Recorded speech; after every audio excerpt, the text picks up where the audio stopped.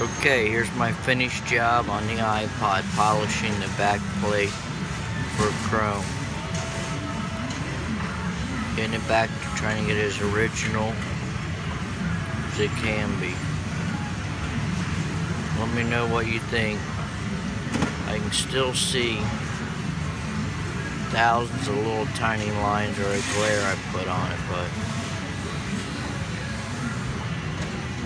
you see what I mean. Maybe I need to take it through another step. Well, thank you very much.